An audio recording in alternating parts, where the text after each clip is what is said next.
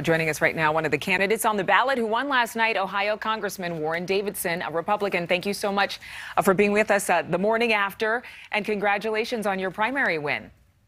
Thank you, Adrienne. An honor to join you today. You know, I have to tell you, it's not a secret uh, that you ran on policies that are synonymous with former President Donald Trump. What exactly is it that Republicans want, even those who don't particularly like the former president?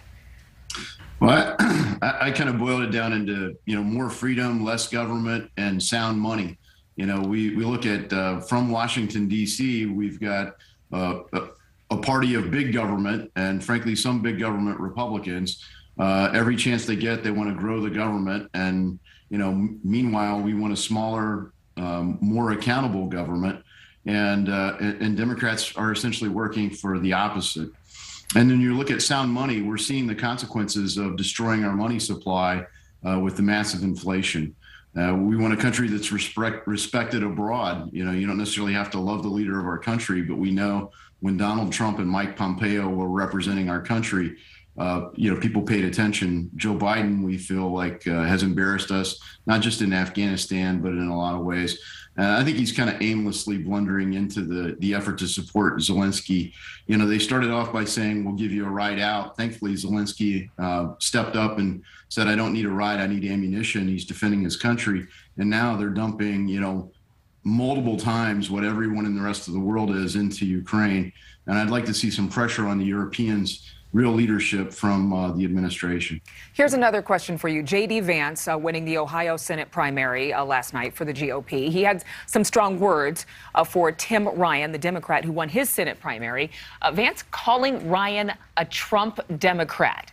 Is it possible that more Democrats are looking for this combination of those conservative fiscal ideals that you're talking about, along with keeping some of the key agenda items of their party? Look, Tim Ryan is is uh, you know right to try to move the Democratic Party back. I mean, I think he's realized, gee, why is why is Ohio no longer really considered a swing state?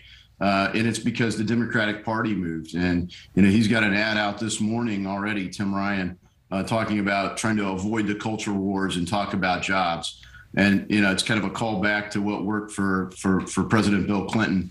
Uh, we'll see if it resonates, but I feel you know JD Vance will have a strong advantage in the state, and we'll obviously be working hard to make sure that he and other Republicans win in the fall. We're going to uh, hear actually a soundbite right now of what a Congressman Ryan said after his big win. Let's listen.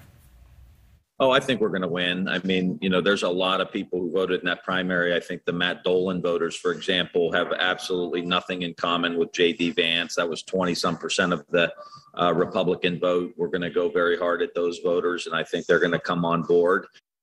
So he's, of course, talking about the win uh, coming up in the midterms. But what are your thoughts there?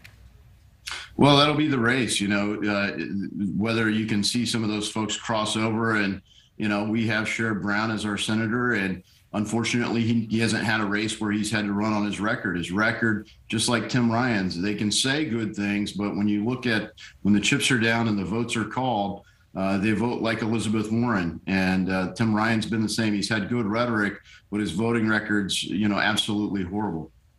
Thank and you. I don't think that's going to work in Ohio. Congressman Davidson, thank you so much uh, for joining us this morning. And again, congratulations. Thank you.